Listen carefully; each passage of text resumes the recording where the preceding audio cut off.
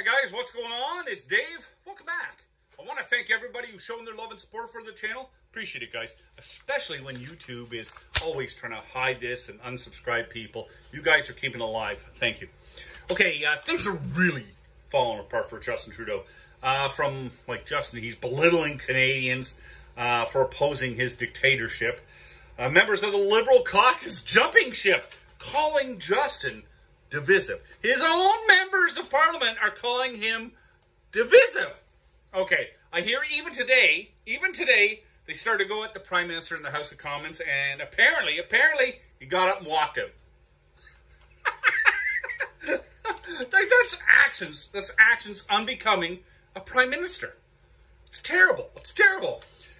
You know, with all of this going on, maybe there's a different way. Maybe there's a different way to do this.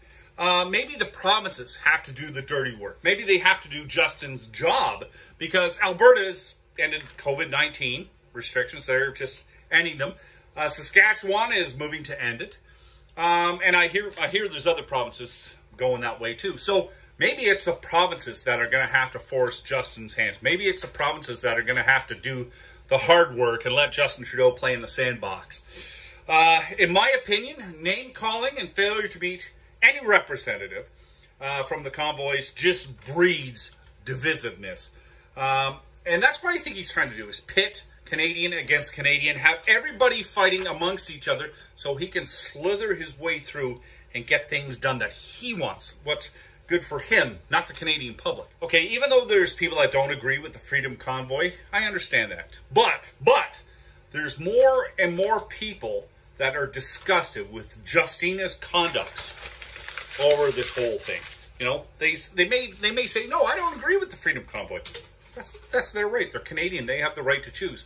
But they don't agree with Justin saying, no, you have to agree with me. I'm the dictator.